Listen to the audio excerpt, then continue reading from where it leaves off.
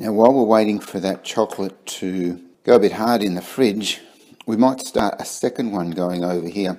I want you to do something a little bit different this time. I want you to get the chocolate to a melted stage and then watch as you take it a little bit further with a bit more heat.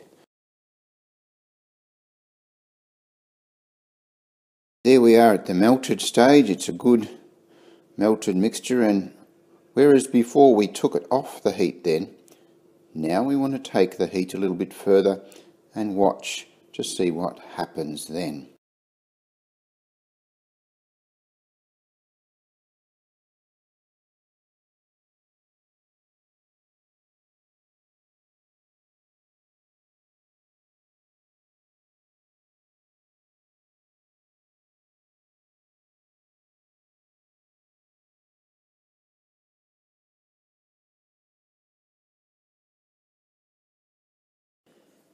So this is the melted chocolate after uh, three or four minutes over the candle even after it has melted and there's become quite significant changes which I'm not going to describe because that's going to be your job to describe as you start to think whether this is a chemical or physical change. You need to watch carefully at the changes that have occurred in this and in the other melting bits that we've done as well and go to Google Classrooms where your activity will be there for you to do.